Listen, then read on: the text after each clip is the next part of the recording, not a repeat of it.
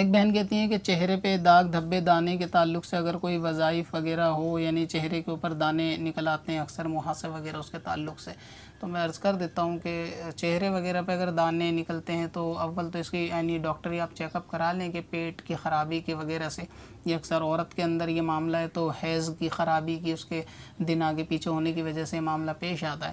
وظائف کے طور پہ ایک چھوٹا سا وظیفہ پیش کرتا ہوں۔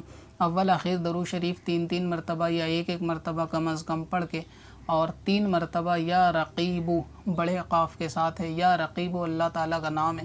یعنی درو شریف اول، آخر اور تین مرتبہ یا رقیبو یا رقیبو یا رقیبو پڑھ کر اپنے ہاتھوں پر دم کریں اور اس ہاتھوں کو چہرے پر پھیر لیں۔ دن میں جتنی مرتبہ کر لیں، اس کو دو چار مرتبہ کر لیں۔ انشاءاللہ تعالیٰ دانوں میں جو ہے چہرے کے شفا حاصل ہوگی۔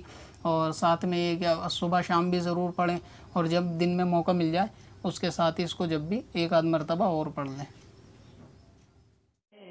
پتھر میں حسن لالے پرن بار